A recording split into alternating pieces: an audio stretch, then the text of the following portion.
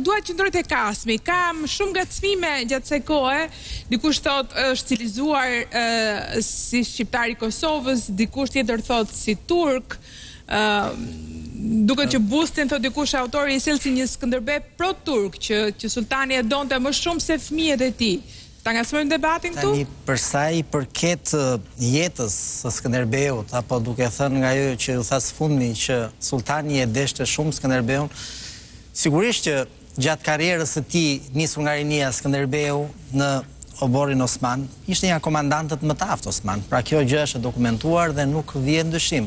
Sikurse kjo nuk ka lidhje fare edhe me atë që ne jemi duke diskutuar me pamjen, patjetër, patjetër, por Po fiq. Edhe me pamjen që neve na është vënë sot pra me këtë skulpturë dhe që po diskutojmë sot, sepse përmenden imazhe osmane. Unë në fakt aty nuk shikoj asnjë imazh osman, të paktën unë, dhe në pikëpamje të vlerësimit historik mesjetar, pra duke e prurë Skënderbeun si të gjithë bashkëkohësit e tij,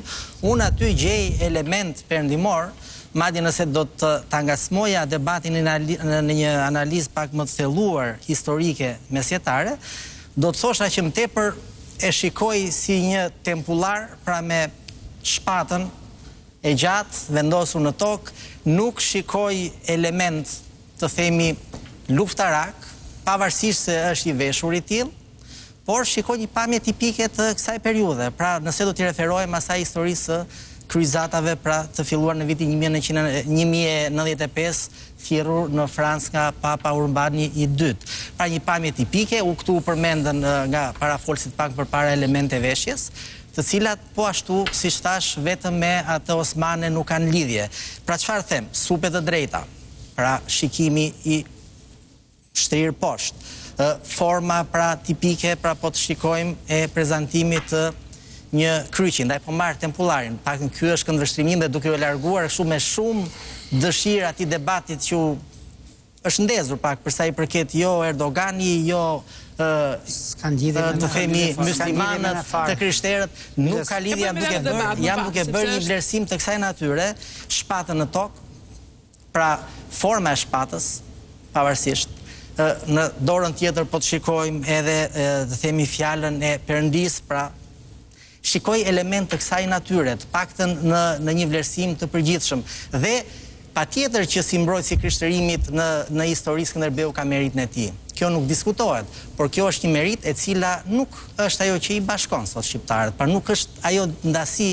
apo themi nuk është ajo ndjesi që duhet të përcillet sot në pikëpamje historike te shqiptarët me një figurë kombëtare. Skënderbeu është një figurë unifikuese, që do të thotë, nëse vlerësojmë figurën e tij, shikojmë pikë së pari çfarë do të thotë ai për shqiptarët në përgjithësi, një figurë i cili mbas njëzet e pesë vjetësh qëndrese shumë të rëndësishme, në shekullin e pesëmbëdhjetë duke ndaluar invazionin osman drejt depërtimit në perëndim, pra dhe jo më kot, pra mbrojtës i krishtërimit, por që mund të ishte më e vlefshme për ata që e konsideruan të tillë, pra për Vatikanin, ndërsa për shqiptarët ka një mesazh shumë më dimensional se kaq, duke filluar që nga hedhjen apo krijimin e shtetit të parë shqiptar që nga bashkimi i shqiptarëve duke i rrafshuar të gjitha dasitë ndërmjet tyre duke u munduar Pse i zemëroi, Kasmi, pse i zemëroi kjo statujë shqiptarët?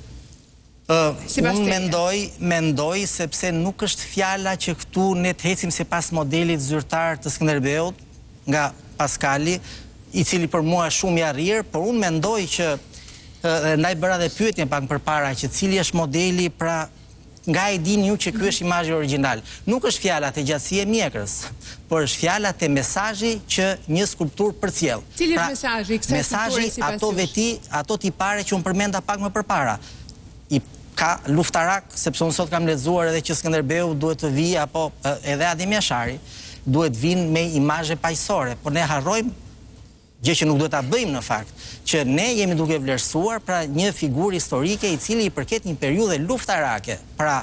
liria fitohet duke luftuar nuk dhurohet liria kështu që nëse flasim për Skënderbeun detyrimisht ai duhet t'i ketë këto cilësi për ta mbyllur Ë, nëse unë do të kaloja apo një një do merrja një grup fëmijësh, shkolle, dhe t'i çoja, t'i vija përballë skulpturës dhe do i thosha që si e lexoni, si e shikoni? Një vepër arti, u përmend nga profesori më përpara, nuk është vetëm ideja që ka